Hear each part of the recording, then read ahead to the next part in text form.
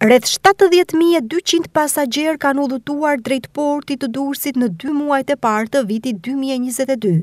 Referuar të dhënave zyrtare të Autoritetit Portual Durrës, janar shkurt 2022, tragetet e linjës Durrës Bari Ankona dhe anasjelltas kanë kryer 136 lundrime. Po të njëjtat burime saktësojnë se 46169 pasagjerë janë regjistruar në hyrje dhe njëzet e katër mijë e njëzet e tetë pasagjerë janë regjistruar në dalje nga vendi ynë drejt brigjeve italiane, krahasuar me të njëjtën periudhë të një viti më parë, vihet re një rritje prej trembëdhjetë mijë e gjashtëqind e tetëdhjetë e nëntë pasagjerë më shumë që kanë përdorur transportin detar për të hyrë apo dalë nga vendi ynë, Po ashtu, rritje është referuar dhe në numrin e automjeteve, trajlerëve dhe kamionëve të përpunuar në terminalin e trageteve gjatë kësaj periudhe dy mujore.